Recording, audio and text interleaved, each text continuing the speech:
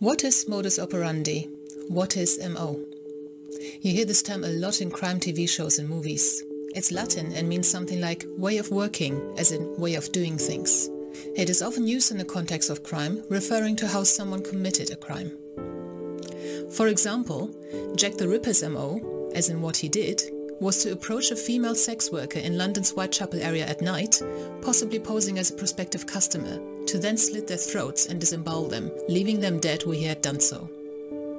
One burglar might have the MO of staking out an expensive home, learn about the comings and goings of those who reside or work there, to then know exactly when they could enter, what the lowest risk method of entry was, and steal only the items they are interested in.